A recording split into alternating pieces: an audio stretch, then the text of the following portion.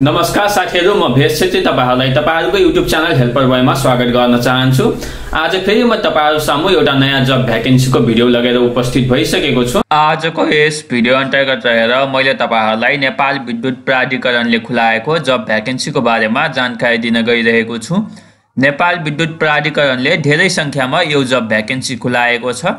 आजको यस भिडियो अन्तर्गत रहेर मैले तपाईँहरूलाई नेपाल विद्युत प्राधिकरणले खुलाएको जब भ्याकेन्सीको बारेमा जानकारी दिनुका साथसाथै यसमा अनलाइन एप्लाई गर्ने तरिका पनि सिकाउन गइरहेको छु। यदि तपाईँ पनि यी सम्पूर्ण कुराहरू जान्न चाहनुहुन्छ भने हाम्रो भिडियोलाई सुरुदेखि अन्तिमसम्म हेर्नुहोला। भिडियोलाई सुरु गर्नभन्दा पहिले भिडियोलाई एक लाइक गरिदिनु होला र च्यानलमा नयाँ हुनुहुन्छ भने च्यानललाई सब्सक्राइब गरिदिनु होला अब ढिलो नगरी म तपाईँहरूलाई हाम्रो आजको भिडियोतर्फ लग्न चाहन्छु। अब तपाईँले यहाँ नेपाल विद्युत प्राधिकरणले खुलाएको जब भ्याकेन्सीको सूचना देख्न सक्नुहुनेछ।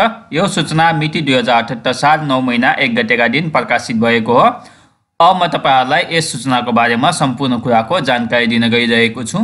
नेपाल विद्युत प्राधिकरणमा रिक्त रहेका प्राविधिक सेवातर्फका तह तिन चार पाँच र सातका तपसिल बमोजिमका विभिन्न पदहरूमा खुल्ला प्रतियोगिताद्वारा स्थायी पद पूर्ति नभएसम्म करार अवधि नवीकरण नहुने गरी बढीमा एक वर्षका लागि करारमा कर्मचारी भर्ना गर्नुपर्ने भएकोले करारमा कर्मचारी भर्ना गर्ने सम्बन्धी कार्यविधि दुई हजार अठहत्तर बमोजिम तपसिलमा उल्लेखित योग्यता पुगेका इच्छुक नेपाली नागरिकहरूबाट रिटपूर्वकको दरखास्त आह्वान गरिएको छ।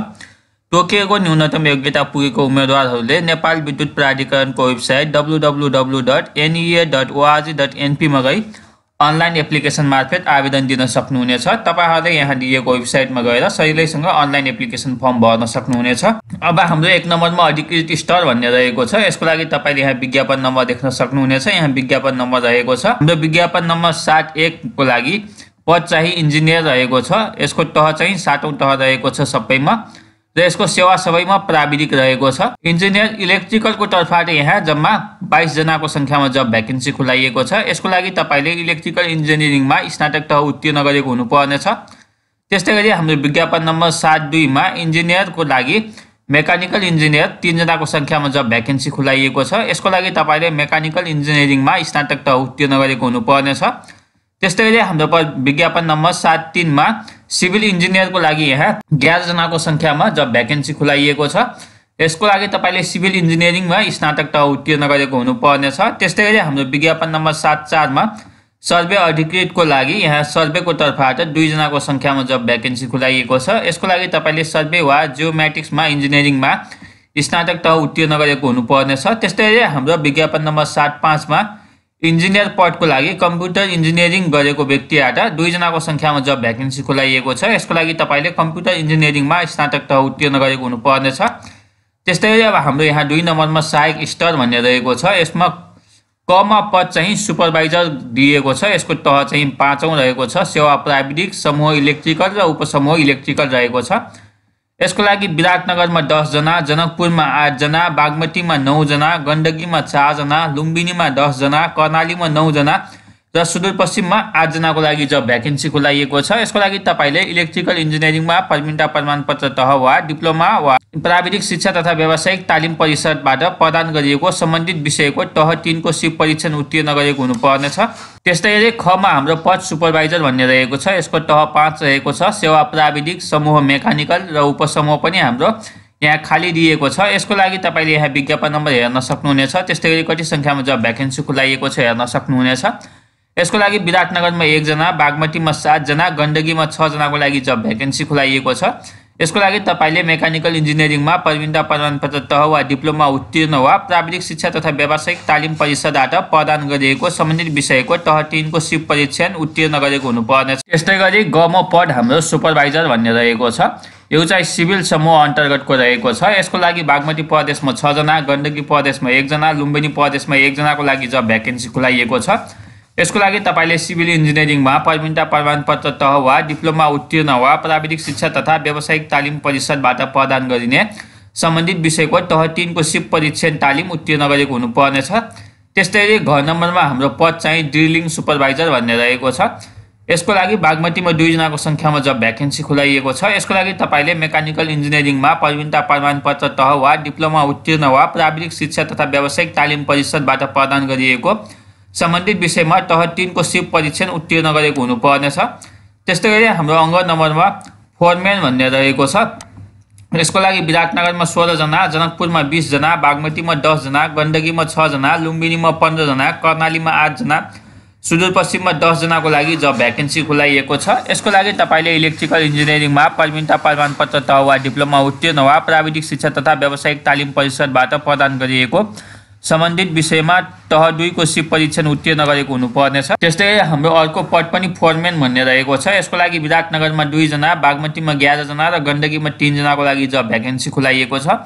यसको लागि तपाईँले मेकानिकल प्रवीणता प्रमाणपत्र तह वा डिप्लोमा उत्तीर्ण वा प्राविधिक शिक्षा तथा व्यावसायिक तालिम परिषदबाट प्रदान गरिने सम्बन्धित विषयको तह दुईको सिप परीक्षण उत्तीर्ण गरेको हुनुपर्नेछ। त्यस्तै गरी हाम्रो पद फोरमेन भन्ने रहेको छ। यसको लागि बागमतीमा चारजना गण्डकीमा एकजनाको लागि जब भ्याकेन्सी खुलाइएको छ यसको लागि तपाईँले सिभिल इन्जिनियरिङमा प्रवीणता प्रमाणपत्र तह वा डिप्लोमा उत्तीर्ण वा प्राविधिक शिक्षा तथा व्यावसायिक तालिम परिषदबाट प्रदान गरिएको। सम्बन्धित विषयको तह दुईको सिप परीक्षण उत्तीर्ण गरेको हुनुपर्नेछ। त्यस्तै गरी हाम्रो अर्को पद चाहिँ इलेक्ट्रिसियन भन्ने रहेको छ। यसको लागि विराटनगरमा बिसजना जनकपुरमा चौतिसजना बागमतीमा सत्ताइसजना गण्डकीमा तिनजना लुम्बिनीमा बिसजना कर्णालीमा नौजना सुदूरपश्चिममा आठजनाको लागि जब भ्याकेन्सी खुलाइएको छ। यसको लागि तपाईँले सम्बन्धित विषयमा प्राविधिक एसएलसी उत्तीर्ण वा प्राविधिक एसइईमा कम्तीमा सी प्लस ग्रेड ल्याई उत्तीर्ण वा प्राविधिक शिक्षा तथा व्यावसायिक तालिम परिषदबाट प्रदान गरिएको। सम्बन्धित विषयको तह एकको सिप परीक्षण उत्तीर्ण गरेको हुनुपर्नेछ भनेर लेखिएको छ। अब यहाँ नोट लेखिएको छ। तपाईँको परीक्षाको किसिम यहाँ लेखिएको छ। संक्षिप्त सूची प्रकाशित गरिनेछ भनेर लेखिएको छ। अधिकृत स्तरको पदमा शैक्षिक योग्यता र अनुभव एवं सहायक स्तरको पदमा शैक्षिक योग्यता अनुभव र सम्बन्धित प्रदेशको स्थायी बासिन्दाको समेतको आधारमा संक्षिप्त सूची तयार गरिनेछ भनेर लेखिएको छ र खमा तपाईँको अन्तर्वार्ता हुनेछ। संक्षिप्त सूचीमा पर्न सफल भएको उम्मेदवारलाई मात्र अन्तर्वार्तामा समावेश गराइनेछ भनेर लेखिएको छ। अब यहाँ परीक्षा दस्तो लेखिएको छ। अधिकृत स्तरको लागि तह सातको लागि रु हजार रुपियाँ तह पाँचको लागि आठ सय रुपियाँ तह चारको लागि सात सय रुपियाँ र तह तिनको लागि छ सय रुपियाँ लाग्नेछ। अब यहाँ उमेर छ। दरखास्त दिने अन्तिम मितिसम्ममा अधिकृत स्तर तह सातको पदमा एक्काइस वर्ष पुरा भई पैँतिस वर्ष ननागेको, तर महिला तथा अपाङ्गता भएका उम्मेद्वारको हकमा चालिस वर्ष ननागेको। सहायक स्तरको लागि तह तिन, चार र पाँचका पदहरूमा अठार वर्ष पुरा भई पैँतिस वर्ष ननागेको, तर महिला तथा अपाङ्ग उम्मेद्वारहरूको हकमा चालिस वर्ष ननागेको हुनुपर्नेछ भनेर लेखिएको छ। नेपाल विद्युत प्राधिकरणको प्रचलित कर्मचारी सेवा सहत विनियमावली दुई हज़ार पचहत्तर संशोधन सहित बमोजिम उम्मेद्वार हुन अयोग्य नभएको हुनुपर्नेछ भनेर लेखिएको छ। अब यहाँ कार्य अनुभव लेखिएको छ। निम्न निकाय वा संस्थामा कार्य गरेको नियुक्ति पत्र वा करारनामा र सेवा अवधि खुल्ने प्रमाणित कागजातसहित पेस गरेको कार्य अनुभवलाई मात्र मान्यता दिइनेछ भनेर लेखिएको छ। निजामती तथा अन्य सरकारी निकाय भनेर लेखिएको छ। त्यस्तै नेपाल सरकारको पूर्ण वा आंशिक स्वामित्वमा सङ्घ सञ्चालित सङ्गठित संस्था संयुक्त राष्ट्र सङ्घ र यसका अङ्ग तथा विशिष्टीकृत निकाय सरकारी तथा गैर सरकारी संस्थाहरू प्रचलित कानुन बमोजिम स्थापित कम्पनी वा संस्था एउटै अवधिमा दुई वा सोभन्दा बढी निकाय वा संस्थामा काम गरेको भएमा बढी समय काम गरेको कुनै एक निकाय संस्थाको कार्यानुभव मात्र गणना गरिनेछ। न्यूनतम शैक्षिक योग्यता उत्तीर्ण गर्नु अघिको र छ महिनाभन्दा कम अवधिको कार्य अनुभवलाई मान्यता दिने छैन भनेर लेखिएको छ। दरखास्त दिने अन्तिम मिति दुई हजार अठहत्तर साल नौ महिना पन्ध्र गतिसम्म रहेको छ। तलब सुविधा र सेवा सतत तपाईँले नेपाल विद्युत प्राधिकरणको नियमअनुसार पाउनुहुनेछ। कार्य गर्नुपर्ने स्थान लेखिएको छ। अधिकृत स्तरको पदहरूको लागि नेपाल राज्यभर र सहायक स्तरको पदहरूको लागि आवेदन फारम बुझाउने प्रादेशिक कार्यालयका अन्तर्गतका विभिन्न कार्यालयहरूमा काम गर्न पर्ने हुन्छ। पदले गर्नु पर्ने काम भनेको छ सम्बन्धित सेवा समूह र उपसमूहले गर्नुपर्ने कार्यहरू गर्नुपर्नेछ। विज्ञापन रद्द भएको अवस्था बाहेक परीक्षा दस्तुर फिर्ता हुने छैन भनेर लेखिएको छ। स्थायी बासिन्दा भनेको छ। प्रादेशिक कार्यालयको भौगोलिक क्षेत्रभित्रको स्थानीय निकायबाट जारी भएको तिन महिनाभित्र सम्बन्धित प्रादेशिक क्षेत्रभित्रको स्थानीय निकायमा स्थायी गरिरहेको प्रमाणपत्र अब यहाँ अपलोड गर्नुपर्ने कागजातहरू भनेको छ।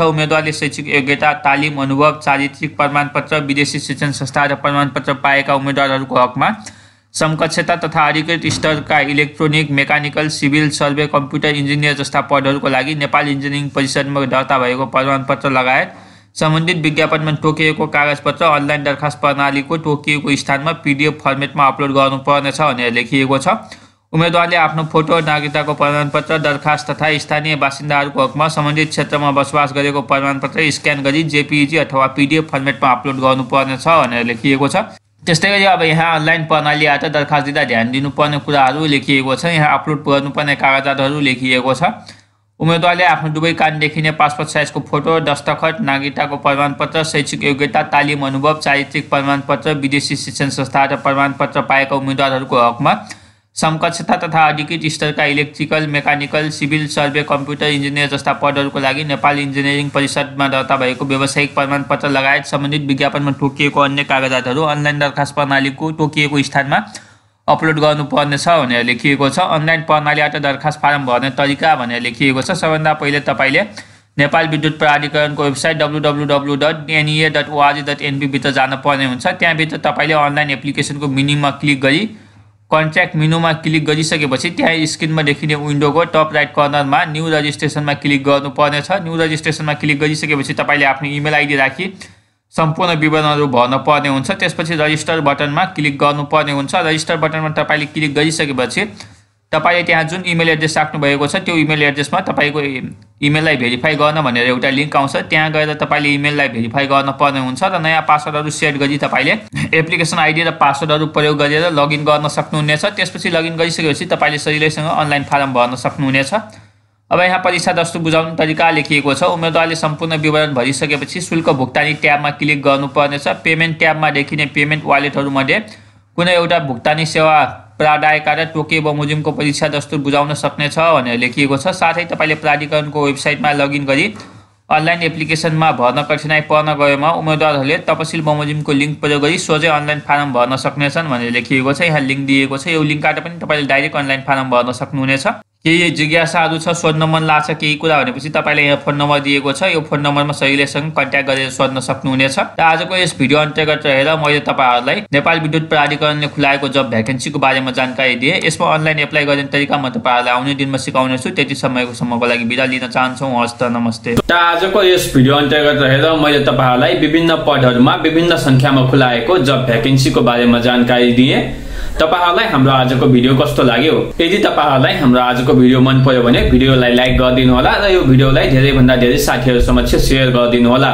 आउने दिनहरूमा तपाईँहरू सामु यस्तै भिडियो लगेर आउने बाचाका साथ आजलाई बिदा हुन चाहन्छौँ। हस्त नमस्ते।